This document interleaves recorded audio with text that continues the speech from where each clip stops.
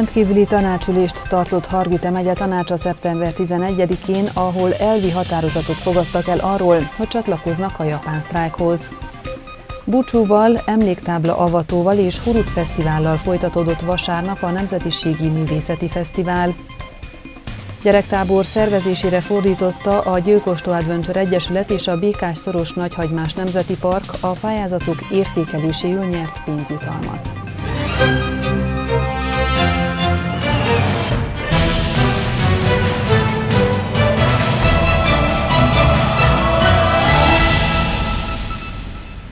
Köszöntöm nézőinket, híreinket látják, kérem maradjanak velünk.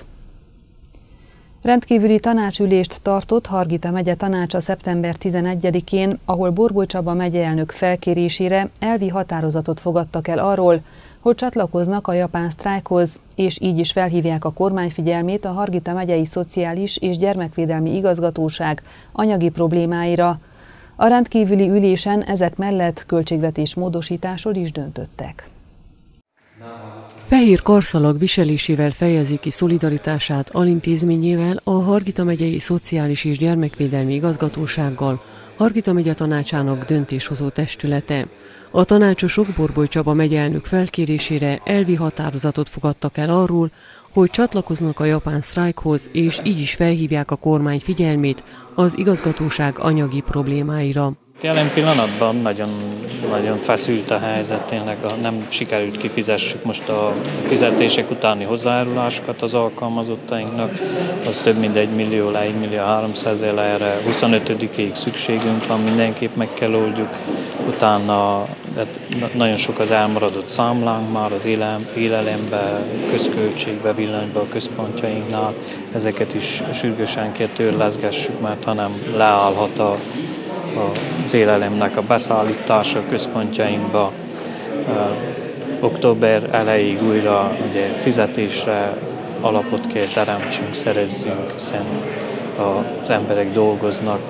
Jó, hogy szimbolikusan japán sztrájkba lépünk, de a gyerekeket nem lehet felügyelet nélkül hagyni, a fogyatékos személyeket ápolni kell tovább.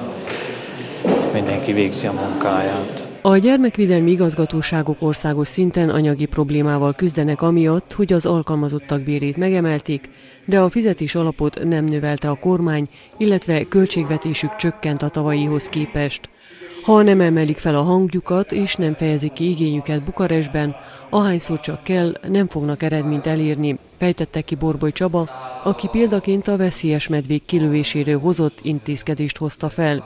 Ahogy a megyeelnök ez alkalommal is beszámolt az igazgatóság vezetőjével, Elekes Zoltánnal, az elmúlt napokban megkeresték az illetékes minisztériumokat, több államtitkárral találkoztak az RMDS parlamenti képviselőinek köszönhetően, de sajnos mindenki másra hárítja a problémát és annak megoldását.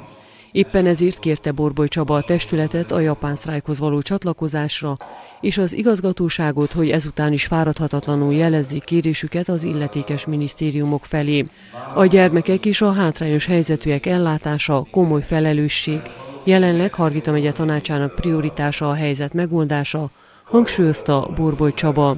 Mindig van arra megoldás, amit akarunk és hogyha tudjuk ezt hallatni, az akaratunkat, és abban van összefogás, ugye, hogy ma is történt a tanácsülésen, hogy egyhangú szavazással tettük fel a fehér szallagot, és hívjuk fel a figyelmet, az egész országnak, a közvéleménynek a figyelmét, hogy ez a, a kormány intézkedés, hogy Hargita megyei gyerekvédelmi rendszerre nem kívánnak forrást fordítani, akkor igenis előbb-utóbb lesz megoldás, hogyha ezt sokan elmondjuk. A döntéshozó testület csatlakozott a megyeelnök álláspontjához, és egyetértettek a szolidaritás vállalással, illetve az MPP frakció javaslatára kiegészítették azzal a követeléssel, hogy továbbra se kelljen adózniuk a munkaadóknak a mozgássérült személyek után, illetve azt az összeget adhassák az ezeket a személyeket segítő civil szervezeteknek. Megszavazta a tanács testülete a 3,5 tonnánál nagyobb gépjárművek és buszok elterelését a 137-es megyei útról, hogy azok ne használják a Décsfalvi hidat, amely megrungálódása miatt veszélyes lehet a nehéz rakományok szállítása esetén. Amint arról korábban már beszámoltunk, sürgősségi intézkedésre van szükség a híd állapota miatt, a megyei tanács sürgősségi közbeszerzési eljárást indított, De Borboly Csaba a közösségi oldalán indított konzultációban a lakosság véleményére is kíváncsi azzal kapcsolatosan, hogy mi legyen az Ódon híd sorsa. A megyeelnöknek közösségi oldalán jelezte egy lakos a problémát nemrég, és a helyszíni szemle után néhány nap alatt jelentős előrelépés történt az ügyben, ennek köszönhető a tanács mostani döntése is. A lakosság biztonsága érdekében súlykorlátozást vezettek be a hídon, a javításra vonatkozó dokumentáció 90%-ban elkészült. A munkálatra is a még hátralevő terv részletekre szavazta meg a megyei tanács a szükséges összeget, mintegy 3,7 millió lejre becsült hidat épít a régi helyére Hargita megye tanácsa. A megyei tanács a rendkívüli ülésen ezek mellett költségvetés módosításról döntött, pénzt csoportosítottak át a megyei sürgősségi kórháznak útjavításokra, azok tervezésére és kivitelezésére, ugyanígy az Oroszhegy községbeli Székely Szent Király megrongálódott hídjának javítására, hogy itt is lehessen elkezdeni a szükséges dokumentáció elkészítését és felújítását. Speciális buszjáratokat indítanak a dolgozók számára, illetve a Hargita megyei Szociális és Gyermekvédelmi Igazgatóság és a Mozgáskorlátozottak Országos Egyesülete együttműködéséről is voksoltak. Az ötödikeseknek szánt tankönyveket helyettesítő, az Oktatási Minisztérium által kiadott útmutatók csak román nyelven írhetők el. Létezik azonban egy kezdeményezés a Hargita és a Kovászna megyei oktatók között, hogy rövid időn belül önkéntes alapon fordítsák le ezeket.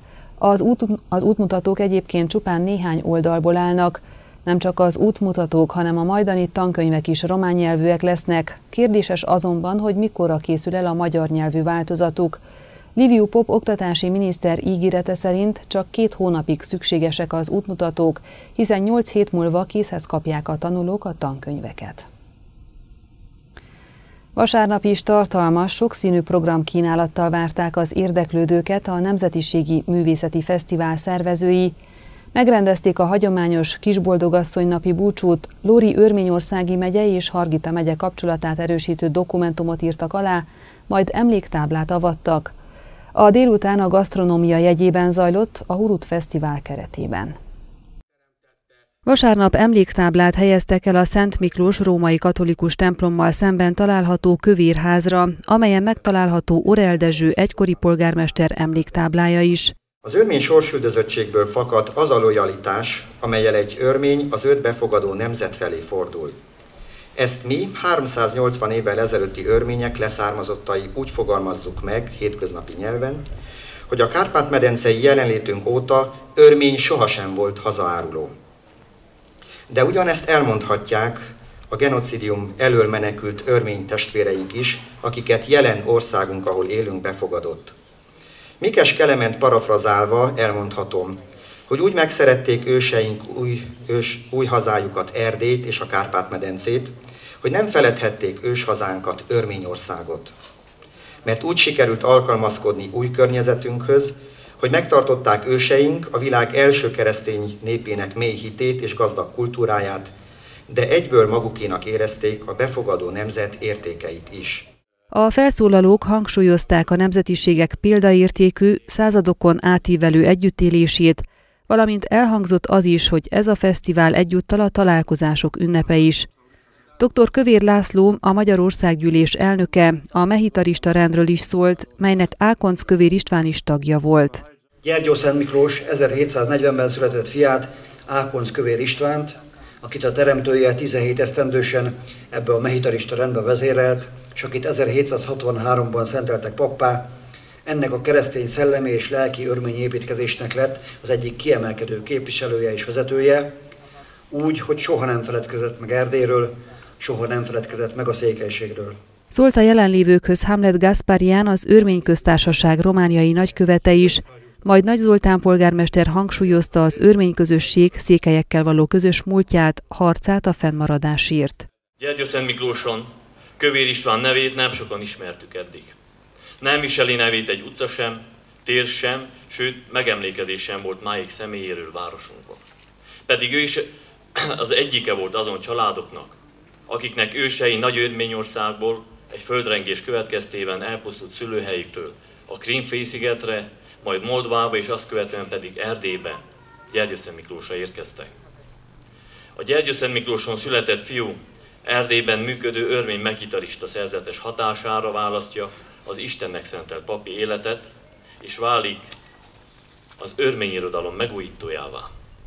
Nevét és határozottságát a világ minden szegletében megismerik, Asztrahántól Konstantinápolyig, Rómától Erzsébetvárosig. Dr. Garda Dezső történész az örmények múltjának számos jeles eseményét idézte fel, majd leleplezték Ákonc Kövér István emléktábláját. Délben a kisboldogasszony napi búcsúra hívogatta a vendégeket és a helyi lakosságot az örmény katolikus templom harangja. Jakubinyi György, a Gyulafehérvári Római Katolikus Főegyházmegye érseke prédikációjában beszélt arról, hogy a keresztény egyház történetének első három évszázadában üldözték az egyházakat, és sokan megtagadták a hitüket, majd később ezt megbánták, és így alakult ki a búcsú fogalma.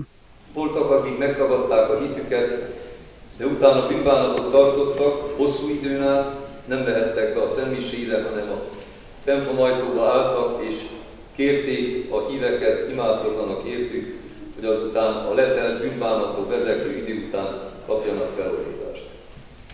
És előfordult az is, hogy amikor valaki gyengeségből esett el, és utána kéri a feloldozást, olyan élő vértanúk, akiket megkínoztak, és mégis túlélték a kínzást, elmentek a püspökhöz, és azt mondták, a kegyelem, az egyház közösség, ami a viszeketben is szerepel a szentek közössége alapján, felkínálják azt, hogy az ő szenvedésüket átadják ezeknek a vezetőknek, és az ő érdemeiből bocsássák meg nekik.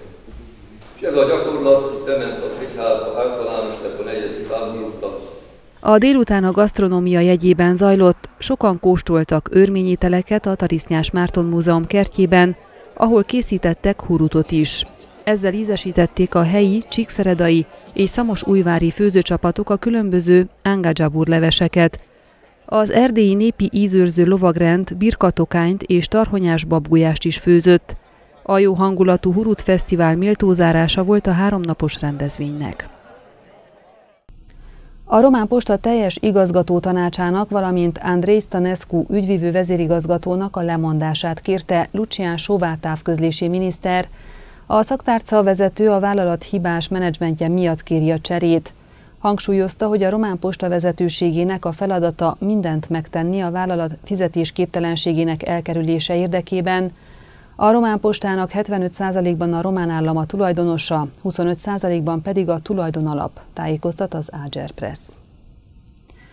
A Polgártárs Alapítvány és a MOL Románia januárban díjazta a leglátványosabb eredményeket felmutató 2016-os projekteket. Az öldövezet első díjak egyikét a Gyergyó Szent Miklósi Gyilkostó Adventure Egyesület vehette át, a nyertesnek ítélt pályázatot az Egyesület a Békás-szoros Nagyhagymás Nemzeti Parkkal közösen bonyolította le, a díjjal társuló pénznyereményt pedig szociálisan hátrányos gyerekek táboroztatására fordították. A tábor a vakáció utolsó hetében zajlott, a fiatalokat szombaton látogattuk meg a tábor helyszínen. Még ez év januárjában díjazták a 2016-ban lebonyolított projektek közül a legeredményesebbeket. A védett területek kategóriában a Gyilkostó Adventure Egyesület a Békás Szoros Nagyhagymás Nemzeti Parkkal közösen lebonyolított pályázata lett az első. Az ehhez társuló pénzjutalmat gyerektáborra költötték, amelyen az Óra Internacionál által működtetett gyerekotthon a szivárvány alatt ellátottjai vettek részt. Próbálunk a természetvédelem mellett egy ilyen a szociális oldalára is figyelni ezeknek a táboroknak, tehát ezt úgy értem, hogy olyan gyerekeket hívunk meg, hozunk el táborozni, akik nem igazán jutnának ki különböző okok miatt, tehát nem, jutnak, nem tudnak eljönni a gyilkostól, nem látják a békásszorost, nincsen lehetőségük ilyen típusú táborokba menni. 14 gyerek három napot töltött az egyeskőnél, további öt fiatallal kiegészülve a csapat szintén három napot volt a gyilkostón. Turázástól át természetismereti vetélkedőkig, csónakázás, ez, tehát az idő is viszonylag nagyon rövid. A túrázások mellett délutánonként a táborhelyen jutott idő a közös játékra is. Lássuk, melyikek ügyesebbek. Én, én pont tudom. Ha eltalálta, egy nulla lányunk javát. Ha nem találta, jön a következő. Jön a következő. Na, egy, kettő, nem is egy három. Nem. Na, egy, kettő, három. Csongi! Kata.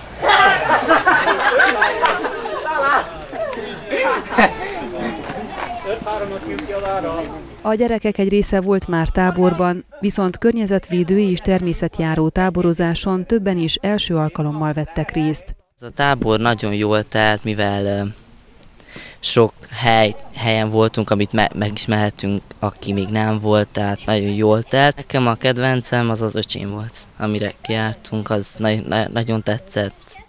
Robert hozzátette, hogy ez a tábor igencsak összekovácsolta a csapatot, és értékelte azt is, hogy mennyire szép helyeken jártak.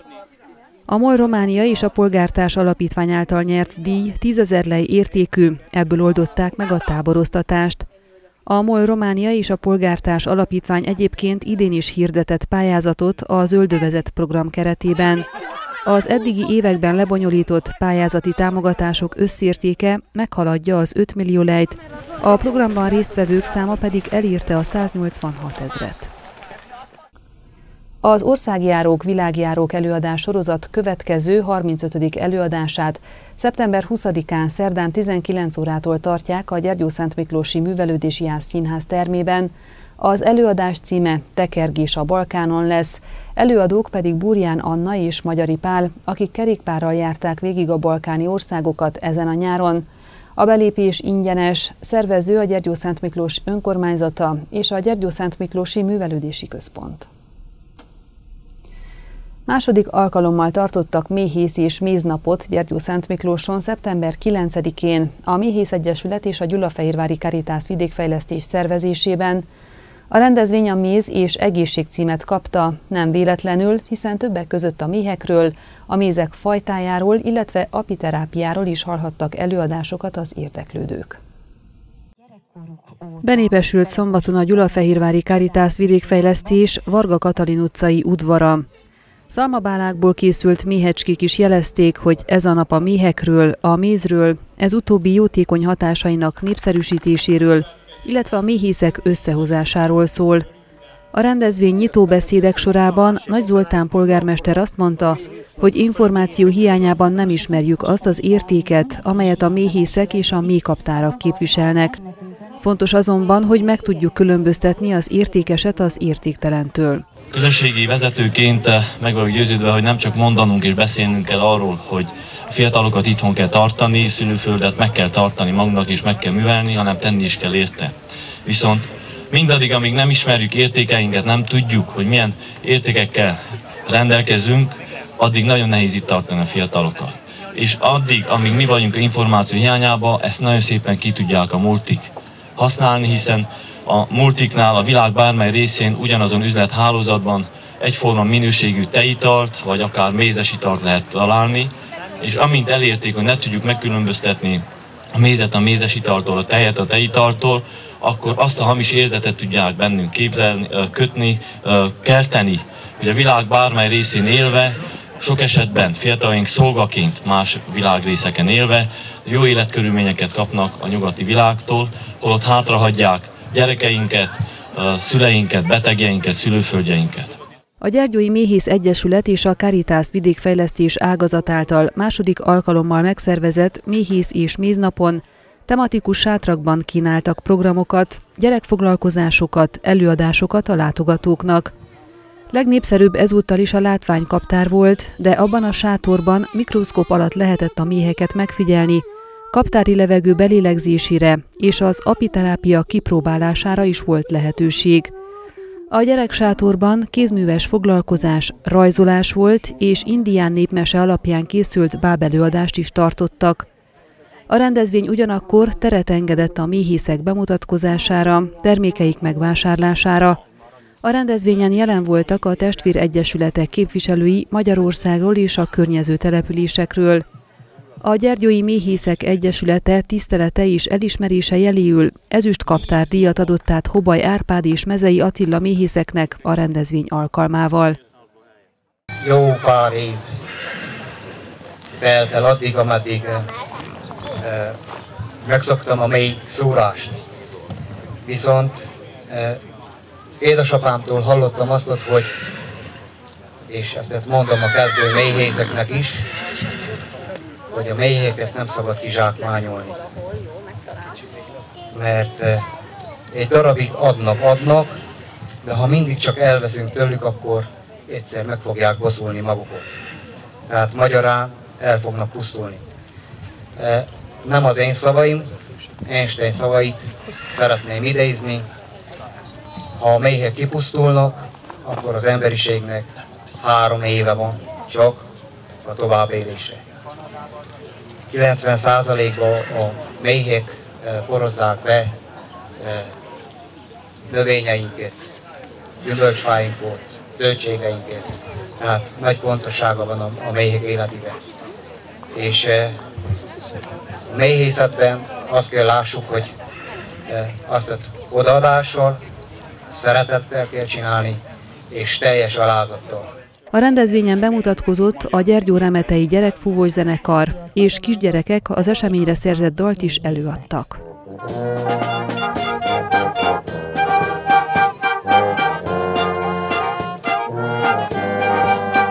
Jaj, de sokszor, jaj, de régen jártam egy virágos téten, ott láttam egy kis madarat, That's the mogo